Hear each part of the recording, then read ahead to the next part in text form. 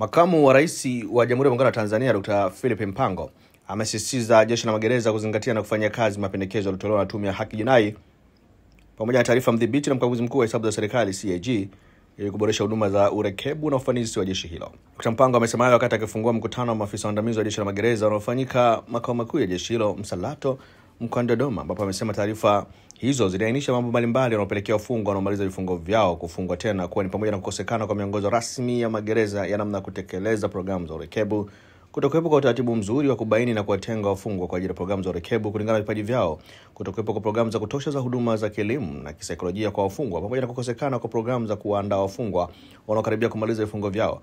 Lakini pia Dr. Mpango amesema taarifa ya Tume ya Haki Jinai iliainisha utumiaji wa nguvu kubwa kupita kiasi, ikiwa ni pamoja na ukaguzi unaotweza utu na kukiuka haki za binadamu. Lakini pia amesema ni muhimu kupunguza na hatimaye kuondokana kabisa na matumizi ya ndoo magerezani kama choo.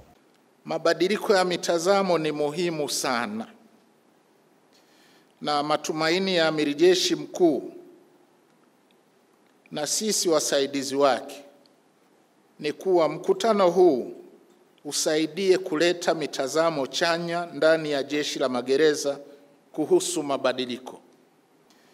Kwa hiyo kinachohitajika zaidi ni dhamiri ya dhati na ubunifu ili kuwezesha upatikanaji wa huduma bora za urekebu na kupunguza idadi ya wanaomaliza vifungo vyao na kurejea tena magerezani.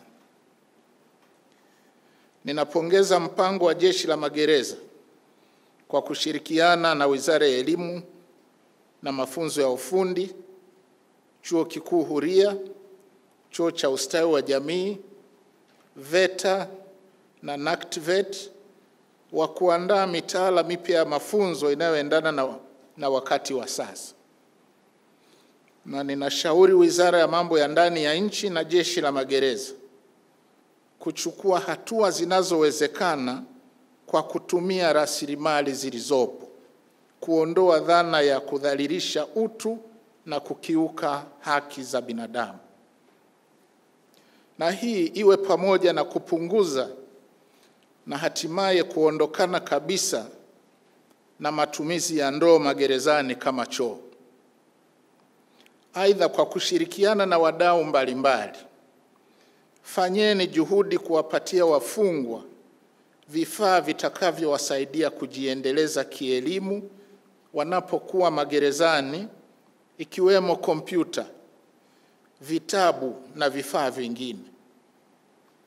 Aidha, ninaamini kuwa jeshi la magereza linaweza kuboresha lishe ya wafungwa kwa kuwa kwa rasilimali zilizopo na kuwapatia wafungwa wengi zaidi ujuzi wa kilimo chenye tija.